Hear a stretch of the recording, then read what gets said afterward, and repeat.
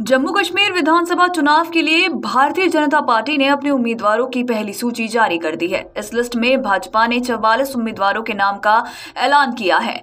पहले चरण के पंद्रह, दूसरे चरण के दस और तीसरे चरण के उन्नीस उम्मीदवारों के नाम की घोषणा की गई है। अर्षिद भट्ट, राजपुरा से, जावेद अहमद कादरी, शोपिया से, मोहम्मद रफीक वानी, अनंतनाग पश्चिम से चुनाव लड़ेंगे। तो वहीं एडवोकेट सैयद वजाहत अनंतनाग से, शगुन परिहार, किश्तवाड़ से और गजय सिंह राणा डोडा से चुनाव लड़ेंगे।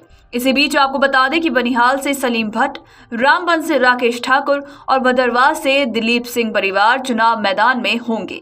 जम्मू कश्मीर विधानसभा चुनाव के लिए बीजेपी ने अपने उम्मीदवारों की पहली लिस्ट जारी कर दी है। इस लिस्ट में पहले चरण के लिए पंद्रह, दूसरे चरण के लिए दस तो वहीं तीसरे चरण में होने वाली वोटिंग के लिए उन्नीस उम्मीदवारों के नाम का ऐलान किया गया है।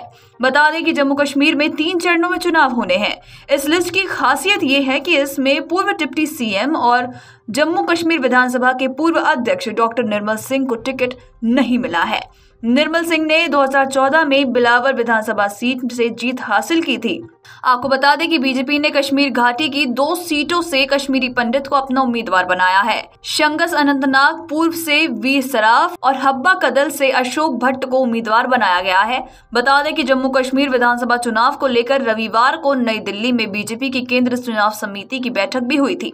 इस मीटिंग में प्रधानमंत्री नरेंद्र मोदी गृह मंत्री अमित शाह और बीजेपी राष्ट्रीय अध्यक्ष जेपी नड्डा समेत कई वरिष्ठ नेता भी शामिल हुए थे और इस मीटिंग में चुनावी रणनीति, मुद्दों उम्मीदवारों के नाम और राज्य में पीएम मोदी की संभावित रैलियों को लेकर भी चर्चा हुई थी। सूत्रों के अनुसार इस मीटिंग के बाद अटकलें लगाई जा रही थी कि बीजेपी सोमवार सुबह तक उम्मीदवारों के नाम का ऐलान कर देगी और आज ही के दिन, यानी कि 26 अगस्त 2024 को बीजेपी ने लिस्ट जारी कर दी है। सूत्रों के मुताबिक इस मीटिंग में तय हुआ कि पीएम नरेंद्र मोदी की कश्मीर में एक से दो रैली होगी, जबकि जम्मू में पीएम मोदी आठ से दस रैलियाँ करेंगे। बता दें कि राज्य की नब्बे विधानसभा सीटों पर मतदान के लिए चुनाव आयोग ने चुनाव तारीखों का ऐलान कर दिया है। जम्मू कश्मीर में 18 सितंबर 25 सितंबर और 1 अक्टूबर को मतदान होगा। सुरक्षा के लिहाज से संवेदनशील केंद्र शासित प्रदेश में विधानसभा चुनाव तीन चरणों में कराए जाएँगे। विधानसभा चुनाव के नतीजे चार अक्टूबर को आएँगे और पहले फ़ेज़ में चौबीस सीटों पर तो वहीं दूसरे फ़ेज़ में छब्बीस सीट और तीसरे फ़ेज़ में चालीस सीटों पर मतदान किया जाएगा।